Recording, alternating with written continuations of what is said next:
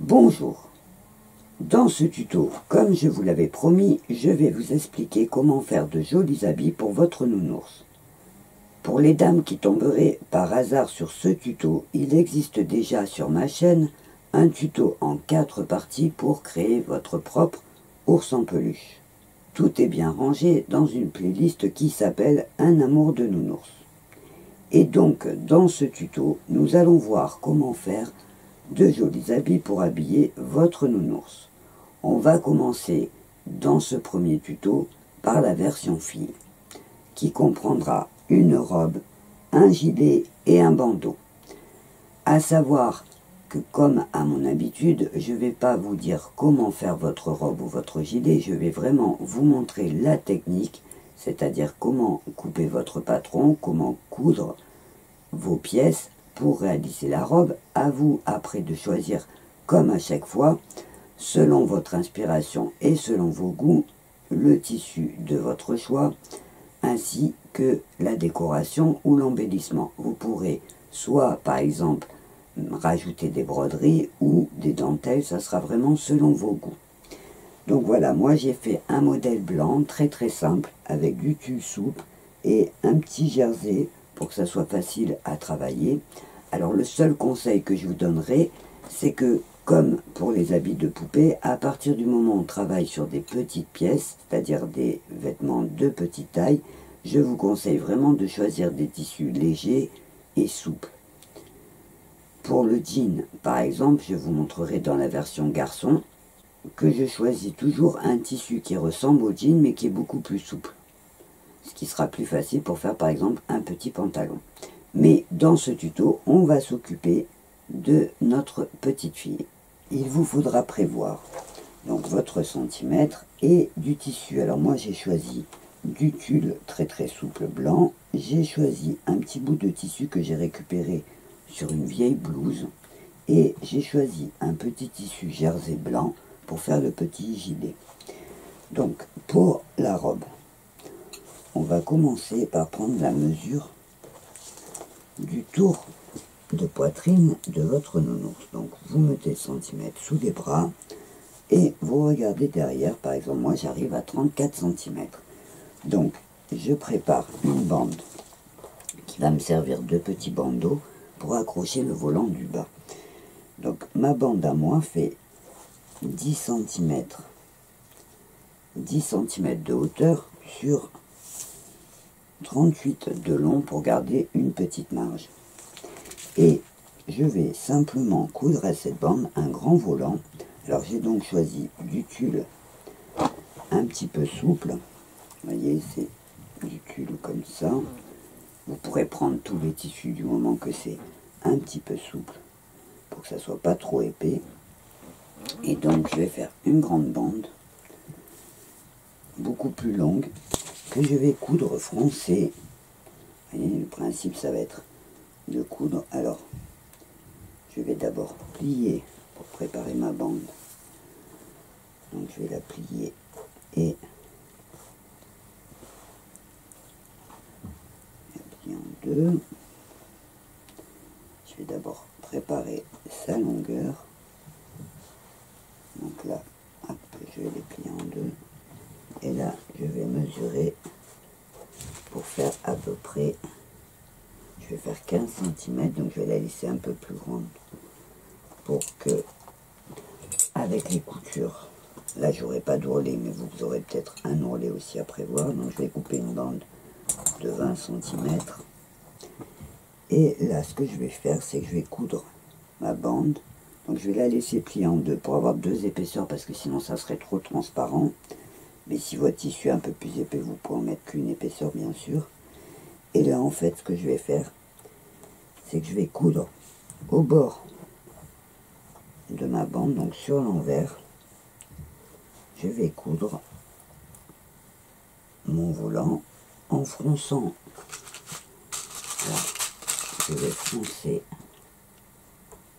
Voilà, je vais commencer comme ça. Et je vais faire des fronces pour le coudre, en fait, sur ma bande pour qu'ensuite voilà j'aurai ma bande comme ça et mon volant en bas donc je vais commencer parcoudre tout le long en faisant mes fronces.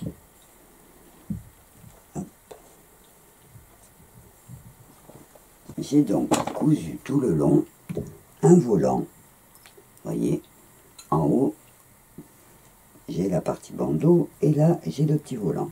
Alors, avant de faire quoi que ce soit, je vais couper le bout de tissu qui est en plus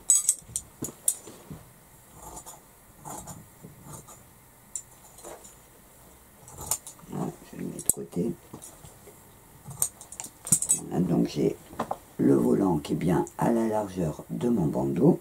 Et avant de faire le pli de mon bandeau, je vais fermer l'arrière. Mais alors ce que je vais faire, c'est que je vais fermer. Alors là j'ai mon aiguille.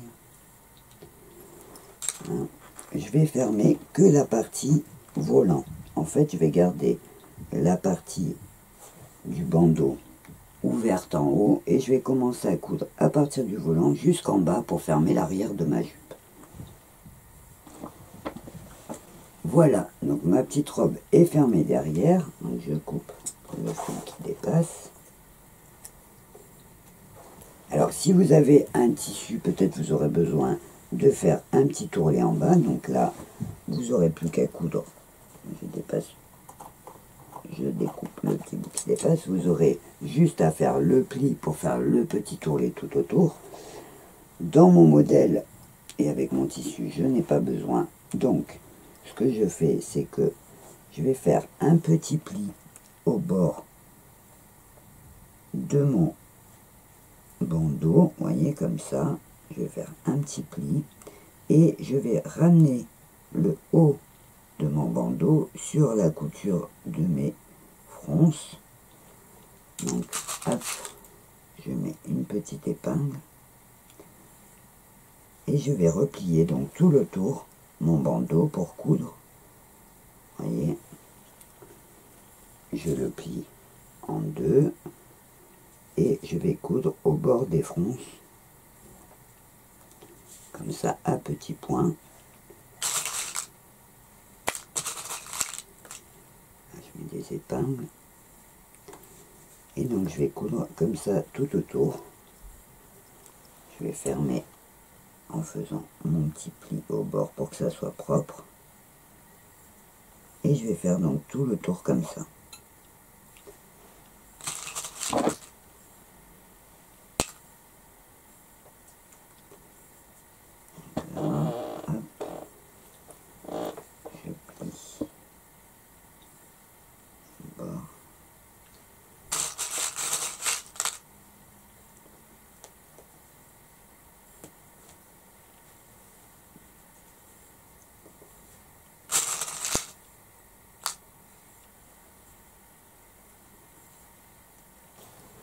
du coup tout tour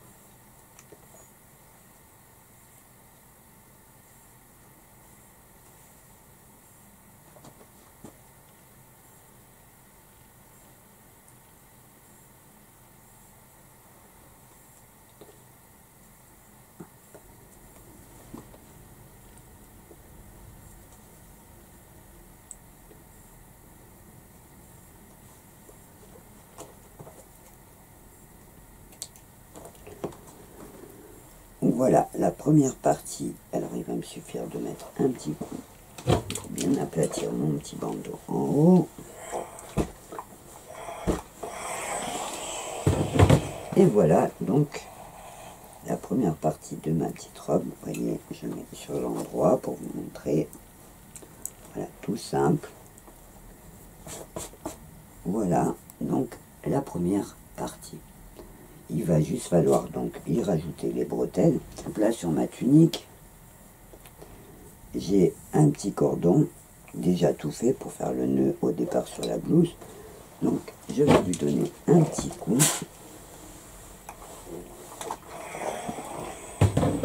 Et je vais m'en servir pour faire les bretelles de ma petite robe. Si jamais vous n'en avez pas, il suffit de prendre un petit rectangle. Alors je vais vous montrer comme pour les hanches des sacs, il vous suffit de prendre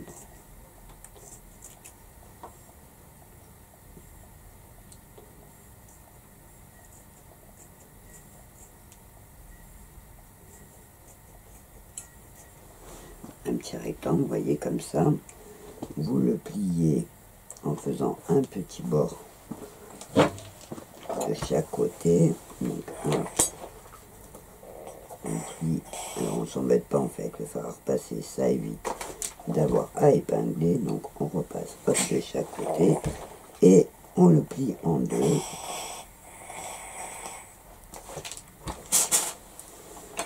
Et donc vous pliez en deux. Vous n'aurez plus qu'à coudre tout le long pour avoir votre petite bretelle. Donc là, je vais, pour prendre la mesure des bretelles, enfiler la petite robe sur mon nounours. Alors le mieux c'est de l'enfiler par le bas. Ça évite d'avoir à passer les bras. Donc hop, j'enfile ma robe.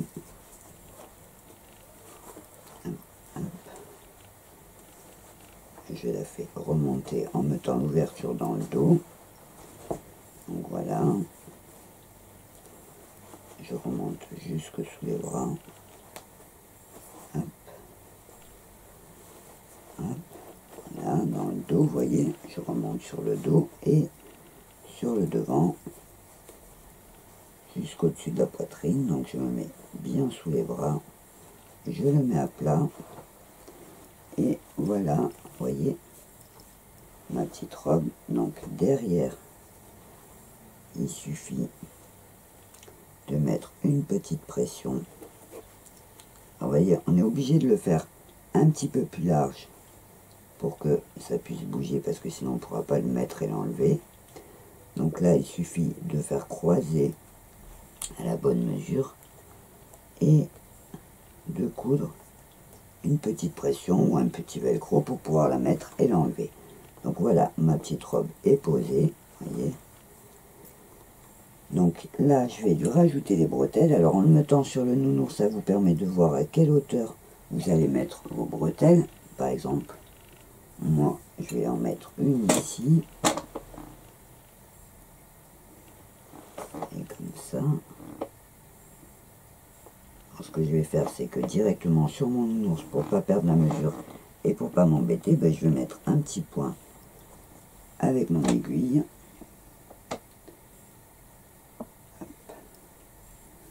je fais un nœud et je vais coudre directement ma bretelle sur la robe. Comme ça j'aurai la bonne mesure. Donc hop je mets vers moi. Je couds ma petite bretelle à petits points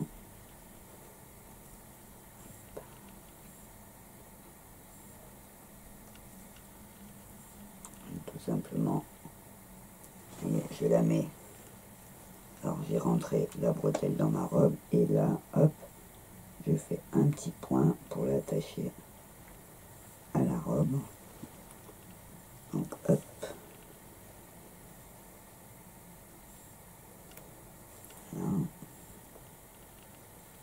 Ce qui va me permettre de l'avoir bien en place. Donc je coupe le fil qui dépasse. Et là, je vais aller derrière, voyez, en tirant un petit peu. Je vais couper, alors de derrière, je vais couper à la longueur qu'il me faut. Et pareil, je vais la coudre sur ma partie robe. Donc je la rentre à l'intérieur. Et hop, je fais un petit point. Donc il faut que je passe un nœud. Donc là, pour pas la perdre je fais mon petit point, je fais mon nœud avant de tirer sur mon fil. Et voilà.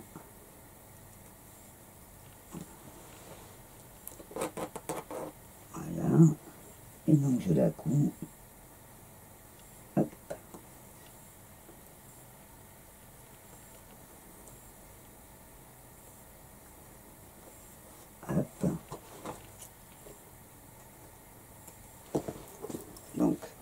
je fais pareil pour l'autre côté. Donc je reprends mon bout.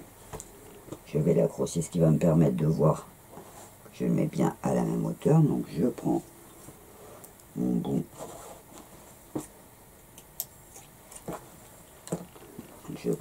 bout. je le pose, je vérifie, je fais mon nœud et hop, donc je couds ma petite bretelle, les petites bretelles. Voilà, donc mes petites bretelles, vous voyez, les petites bretelles sont mises, donc une ici et une ici, on les voit bien. Et donc là, pour finir la robe, je peux mettre, par exemple, mettre un petit nœud devant, une petite fleur ou sur les bretelles. Alors moi, je vais faire par exemple un tout petit nœud avec mon tissu tulle souple, parce que j'en ai sous la main. Je vais rajouter juste pour la fantaisie.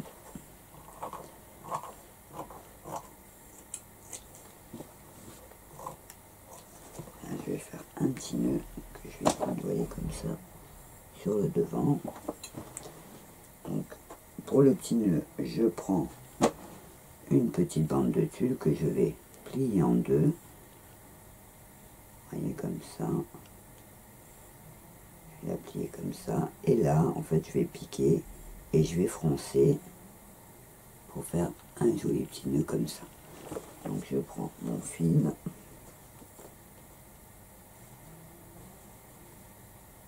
Je pique tout le long entre les deux au milieu.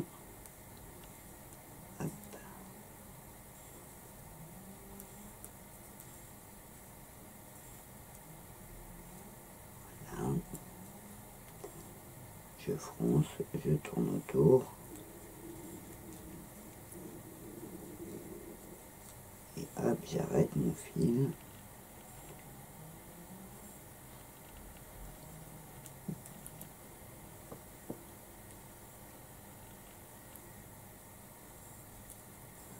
Et en fait, j'aurais plus qu'à coudre mon petit nœud sur ma petite robe. Donc, je vérifie ça me plaît, si c'est pas trop gros, voilà. Et voyez, j'ai plus qu'à coudre mon petit nœud.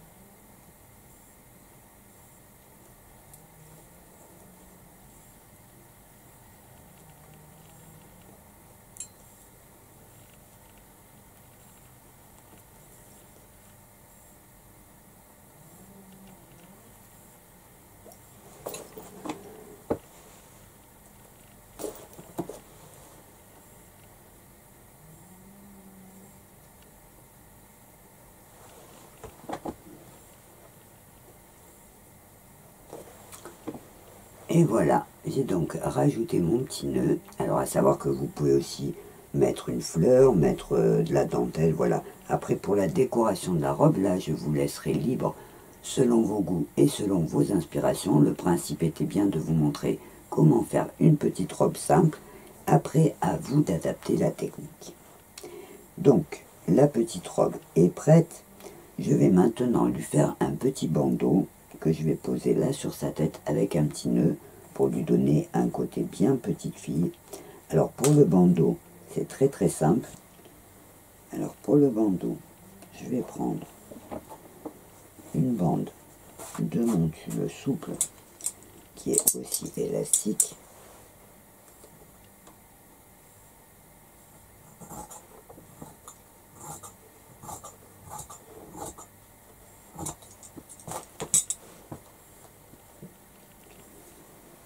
je vais tout couper une bande un petit peu large. Alors si votre tissu n'est pas élastique, il suffira de faire sur le même principe que la bretelle, une bande un petit peu plus large qu'on fera passer après sur la tête et que vous pourrez décorer avec un nœud. Là, j'ai pris donc mon tulle élastique vous pouvez prendre aussi du jersey, du t-shirt par exemple. Je vais lui mettre sur la tête, je le fais passer devant les oreilles et je vais faire un nœud. Alors le nœud, on peut le mettre soit au milieu, soit sur le côté, ça va être selon votre inspiration. Je fais un nœud.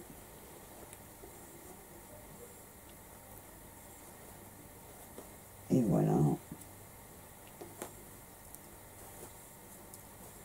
Je vais couper le bout qui dépasse.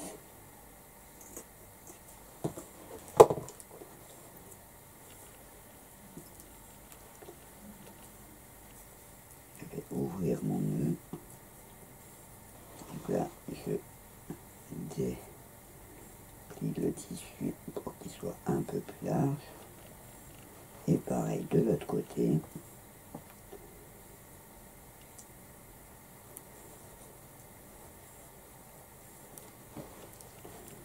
Et voilà donc un joli petit nœud tout simple avec un petit bandeau. Alors le mieux c'est de le faire passer devant les oreilles et après de faire revenir ses oreilles devant. Alors pareil, comme je vous ai dit, vous pouvez le tourner pour mettre par exemple au milieu de la tête si ça vous plaît plus. Et on a donc notre petit bandeau, joli petit bandeau et notre petite robe qui est finie.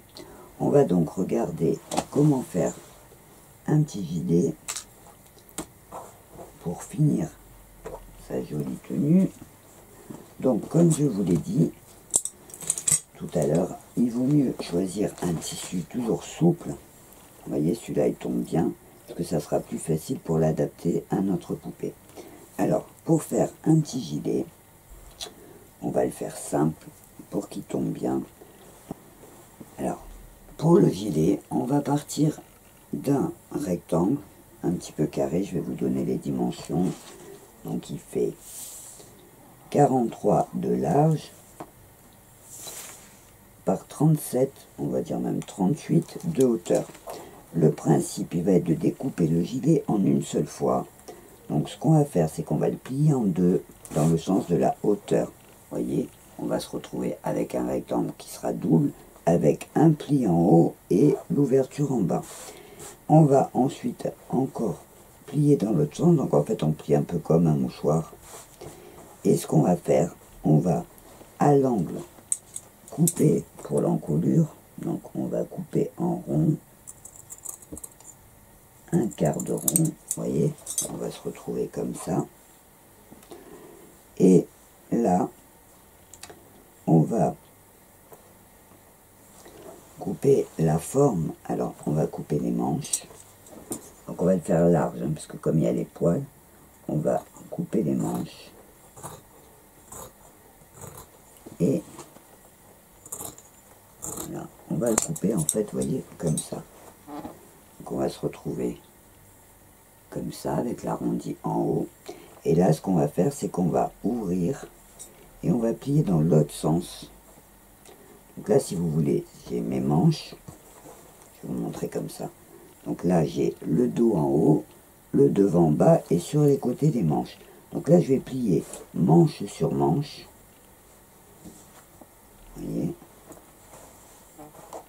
Et ce que je vais faire, c'est que je vais ouvrir. Vous voyez, en fait, là, on est comme ça.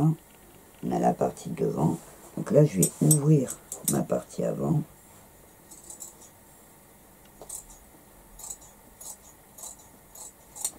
Voilà. Je vais agrandir un petit peu l'arrondi de l'encolure, mais que sur le devant. Pas que ça gêne.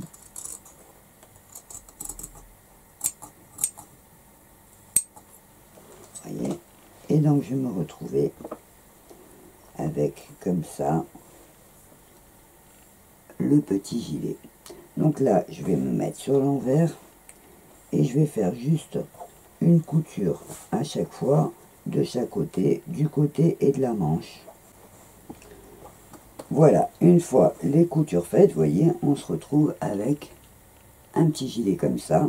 Alors pour les dames qui commencent, pour faire un angle droit à la machine à coudre, en fait, vous allez piquez tout droit. Quand vous arrivez à l'endroit où vous les tournez, vous piquez l'aiguille, vous la laissez en bas, vous soulevez le pied de biche, vous tournez votre tissu, vous redescendez le pied de biche et hop, vous finissez votre couture. Donc là, je recoupe les bords pour faire propre. Alors moi, c'est un tissu qui s'effiloche pas, donc il n'y aura pas besoin de faire le point de zigzag pour le surfiler. Je vais le laisser comme ça. Voilà, donc je coupe, vous voyez, pour que ça soit petit et propre au bord. Ça me permet aussi d'enlever les fils.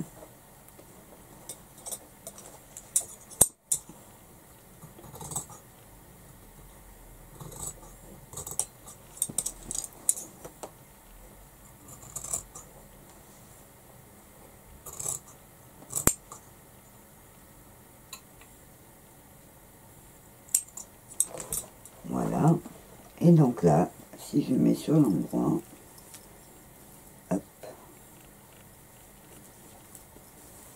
voyez,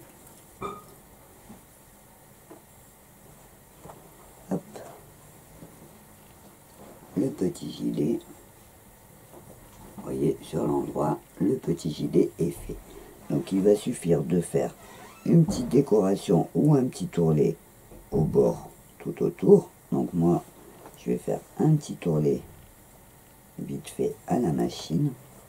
Alors ce que je vais faire, c'est que je vais prendre un point de zigzag, un petit zigzag pour que ça fasse en même temps une petite décoration. Donc là, je vais faire mes petits ourlets à la machine. Voilà, j'ai fait donc tous les petits ourlets du bas, du devant, autour des manches et à l'encolure en faisant un petit point de zigzag pour que ça décore. Avant de la retourner, je vais juste mettre un petit coup de ciseau dans les angles pour que le tissu puisse s'ouvrir facilement. Donc je vais pas jusqu'à la couture, mais je crampe un petit peu pour que le pli soit joli. Voilà. Et donc là, il me suffit de le mettre sur l'endroit. Voyez. Et mon petit gilet est prêt. Alors évidemment, dans ce tuto, je vous montre comment faire le petit gilet tout simplement pour le côté technique. Vous pourrez évidemment y rajouter selon votre goût des dentelles, des broderies, des fleurs, tout ce que vous aurez envie. Alors j'enfile mon petit gilet, c'est pour ça qu'il faut faire les manches un petit peu larges, vous voyez, parce qu'avec les poils ça prend de la place, donc hop, j'enfile mon petit gilet. On pourrait rajouter évidemment un petit bouton devant. Euh, voilà. Donc là, hop, je l'enfile. Si jamais votre encolure est un petit peu trop large, vous pouvez tout simplement passer un petit fil pour la resserrer comme des petites fronces en ramenant les fronces sur l'arrière ça se verra pas ça fera joli et donc là il me reste plus donc là j'ai mon petit nœud vous voyez de ma robe il me reste plus qu'à lui mettre un petit nœud ou un petit lien pour l'attacher. Si vos manches sont trop longues, vous pourrez faire un petit retour, un petit revers comme ça en pliant, vous voyez. Ça permet d'avoir la petite main qui sort bien. Vous voyez là, au lieu d'avoir des plis sur la manche, et eh ben, je vais faire un petit rentré en bas. Et hop, voilà. Et voilà, donc, ma petite nounoursette. voyez, donc à l'arrière, vous avez donc le petit gilet. Donc là,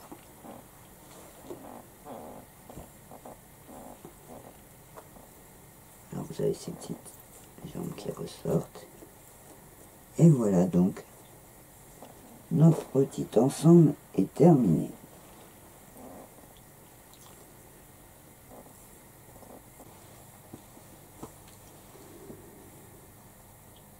Voilà, vous allez pouvoir créer plein de jolis habits à votre petite nounoursette. Ce tuto est terminé, je vous donne rendez-vous dans le deuxième pour la version garçon. J'espère qu'il vous sera utile.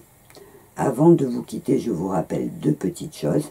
La première, comme d'habitude, si vous avez des questions à poser, n'hésitez pas. Dans la partie commentaires sous cette vidéo, je me ferai un plaisir de vous y répondre.